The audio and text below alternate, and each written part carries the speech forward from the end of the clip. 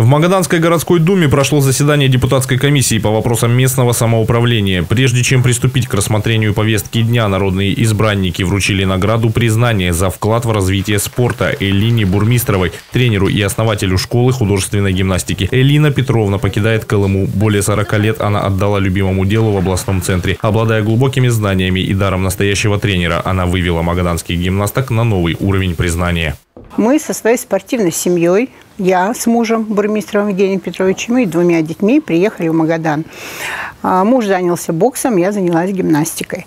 Вот за 40 лет я работала только в одной спортивной школе. За это время подготовлено 57 мастеров спорта России, да.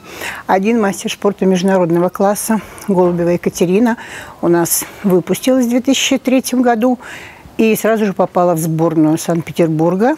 А Санкт-Петербург тогда лидировал в России и попала в групповых упражнениях на Всемирную универсиаду где завоевала, в Корее, где завоевала там три медали.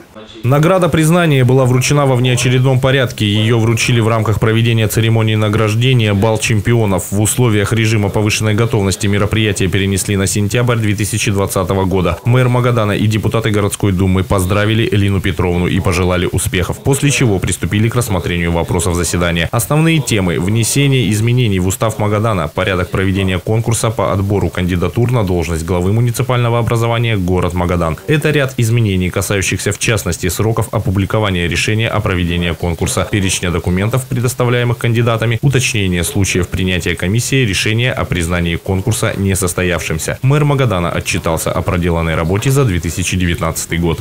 Городской бюджет исполнен по доходам на 7,4 миллиарда рублей, что составило 98% от уточненного годового плана. При этом безвозмездные перечисления составили 4,6 миллиарда рублей. Муниципальный долг на конец отчетного года составил 1 миллиард 983 миллиона, увеличившись на 104 миллиона рублей. Это произошло потому, что мы были вынуждены принять решение о привлечении дополнительных кредитных ресурсов в размере 125 миллионов для сокращения задолженности перед внебюджетными фондами. Депутаты рассмотрели вопрос о назначении даты выборов в Магаданскую городскую думу седьмого созыва. По законодательным нормам мы приняли решение по, на сегодняшний день не приняли решение, а утвердили на комиссии а, срок проведения выборов Всемирного, Всероссийского дня голосования согласно на 13 сентября 2020 а, года. Но а, предрекаю вопрос о том, что планируется и рассматривается вопрос о том, что этот срок будет перенесен.